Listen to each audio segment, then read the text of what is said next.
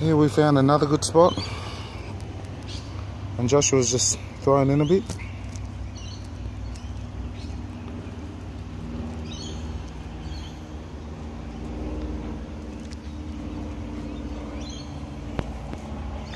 Wow, look at all the bricks down there.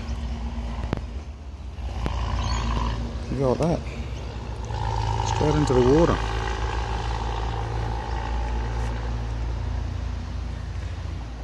So Joshua's got something else.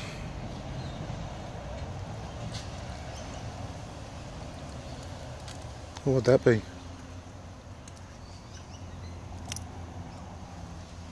We'll get back to it.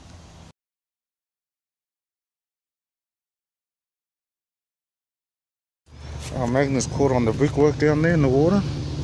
So let's give it a tug. Oh, it's out. okay, Josh could wind that up. Josh was um 88 kg magnets caught again. So again, we've got our pulley out. And Josh was just about to wind it in. Ready, Josh? Go for it.